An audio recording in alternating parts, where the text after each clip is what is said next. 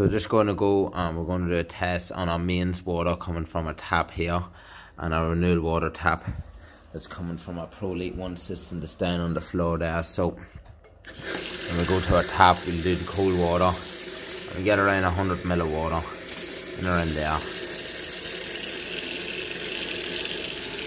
And then what we're going to do is we're going to put 10 drops of this Neatwork solution in and if we go with yellow in colour that's basically our chlorine present so 3 4 5 6 7 8 9 10 I'm going to get a spoon. Give it a twirl and as you can see there that's madness.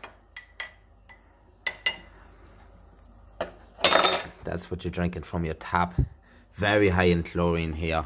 You can smell it when it's coming from the tap. It literally smells like a swimming pool. So we're going to give it a wee rinse out.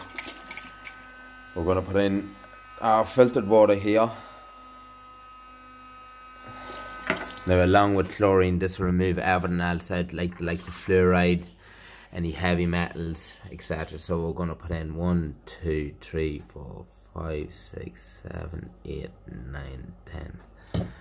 And then we're going to get a big lump of a spoon as you can see still lovely and clear. Then you can get as many as you want. Back to the big lump of a spoon.